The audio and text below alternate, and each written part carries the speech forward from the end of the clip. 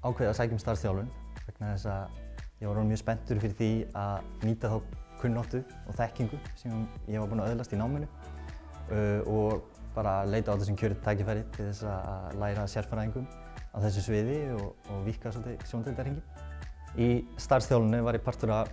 bara strax partur af þróuna teiminu hér á Hefring og við erum að þróa snjátt siglingakerfi. Það sem kerfi gerir er að það mælir og nemur hreyfingar í bátnum og önnu gögg sem að koma úr bátnum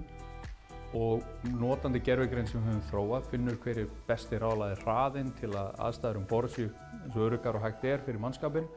uh, og til að besta elsneitisæðslu. Við erum að þróa kerfi fyrir minni báta, minni tegundra bátum, þá er ég að tala um báta sem eru kannski frá 6 metrum upp í 30 metra, geta verið allt frá skemmtibátum upp í, upp í vinnubáta og björgunarbáta. Hver einasta ferð er skráð niður, niður á sekundu frest,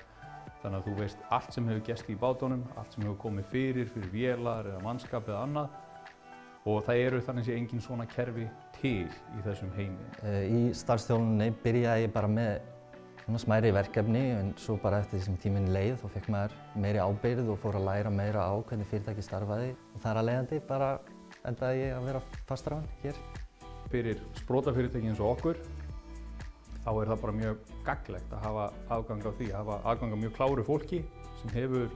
drivkraftinn og viljan til að gera hluti. Bæði kemur hérna inn og kennir okkur eitthvað og svo getum við líka svolítið þjálfað okkur áfram með því að kenna öðrum og það bara verður til með í ægi hérna í fyrirtækinu. Auðvitað er alltaf einhver leiðsögn sem fylgir en okkur finnst almennt að starfsmenn sem koma frá HÍ eru bara vel undibúnir í að takast á þetta verkefni sem að, sem að þau eru sett í um leið og þau koma inn. Af þeim sem að vinna hérna núna uh, þá kemur all teknideildin úr Háskóla Íslands. Ég kláraði BS-gráði í hugbúnaverkfræði